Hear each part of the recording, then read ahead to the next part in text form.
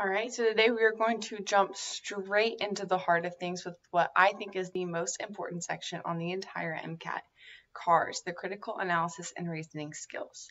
If you are new to this channel, my name is Rachel and I am here to share with you for free um, what I did to study and how to prepare for the MCAT to score in the 99th percentile, as well as how I got a 4.0 in my undergraduate career and am now attending the medical school of my dreams. To our content.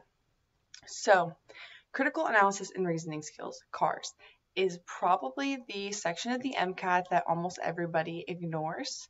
Um, they all just kind of think that they need to study for the chemistry, the OChem, the physics, and they get all caught up in their head. Now, studying for the Chem Phys section and for the Biochem biology sections are pretty similar. Psychology is a little bit different. Um, but CARS is often overlooked because people think, oh, I took the ACT, I took the SAT, I know how to read, I've been under in undergrad, it's very different and it's very specific. Um, it's kind of its own beast. So when you're looking at CARS, I just want you to totally take it separate from all the rest of the MCAT because you are going to go into Chem Phys from knowing equations, knowing concepts, same thing with psych social definitions, different keys, terms. Um, with CARS, you don't know anything except for what is in the passages. If you are a biochemistry major and you get a biochemistry passage, I don't care. If the author doesn't say it, you don't know it. Um, it's not something that you're going to factor into your decisions, is what I should say.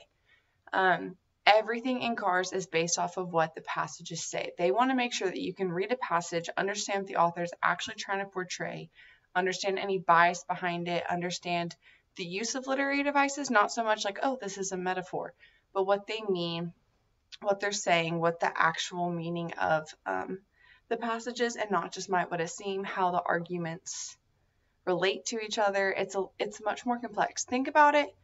Basically, if it helps you when you're approaching it, is that you are a doctor in the future reading a research article and you want to be able to see if the author was biased when they were writing it. You want to be able to see if there was an ulterior motive behind the writing. Um, maybe if the arguments aren't as strong or if one is much stronger than the other, um, especially if that wasn't portrayed in the passage. Um, you're looking for a lot of different sources of bias. It's just critical reasoning to the max. So that's all great, but how do you actually prepare for CARS? Uh, the biggest thing is whenever you are reading CARS, don't just skim through it for speed. So basically, if you don't know the CARS section, you have 90 minutes to take and it's nine passages, 10 minutes a passage. Keep it easy. Don't do any crazy math, 10 minutes per passage. Personally, what I did is I would just kind of skim a passage and see if it just seemed really hard, a ton of words I don't know, a ton of really complicated structures, um, then I would just skip it. And literally, I wouldn't go read through. There's some people who kind of jump through the whole thing. They'll read like a very brief part of every single passage and then like rank them or something. That just took too much time for me. It was too much thinking. So I would just try not to skip. And then if I had one or two passages that seemed really hard, I would just make the decision right then skip it, go to the next passage, and then when you get to the end of the section and you're looking back over your questions, you'll have a gap of like six or seven questions that you didn't answer. So you automatically know that that is a passage that you didn't get to and you can go back to it really quickly. It'll take you like maybe 10, 20 seconds out of your whole test time. It's a much more efficient manner of kind of dedicating your time.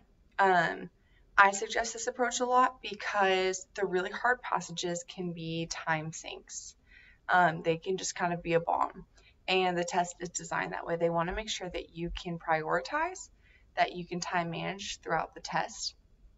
Um, so if you get to a really hard passage and you keep on trying to spend all your time on these few questions and get them right, and then you get to the end, you don't even answer the really easy passage at the end, I would very, very highly suggest that if you're going to guess on a passage, guess on the hard passage that you're probably going to get it wrong, even if you could spend 30 minutes looking at it and then save your time for the easy passages where you can actually take advantage of the questions that are a little bit more um, within your reach, maybe during the test.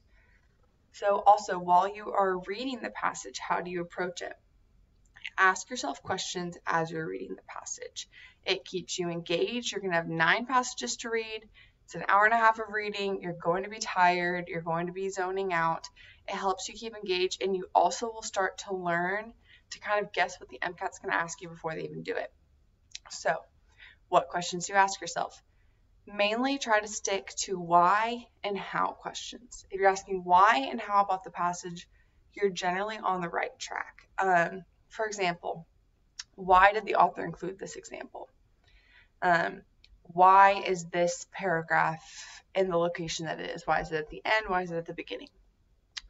Um, why does the author make a transition from supporting something to rejecting something so quickly? How do these two paragraphs relate to each other? How do the arguments relate to each other? Um, how does this source view the argument that the author's making? Because if you can understand that, then you know so many things. You know the argument that the author's making. You know what the source believes. You know how it relates to it. So then if you get to a question later, like, come to find out that some data was changed, how would the source react to it? Or how would the author react to it? Which the MCAT loves to do. You've already been thinking about the factors enough to kind of guess ahead on what they're going to ask you. To have to sit there and have a brand new idea that you've never thought of before. I also highly encourage you while you're practicing your CARS passages before you take the test during your practice test to practice these questions and kind of have a list of questions, maybe like five or six questions that are your go tos.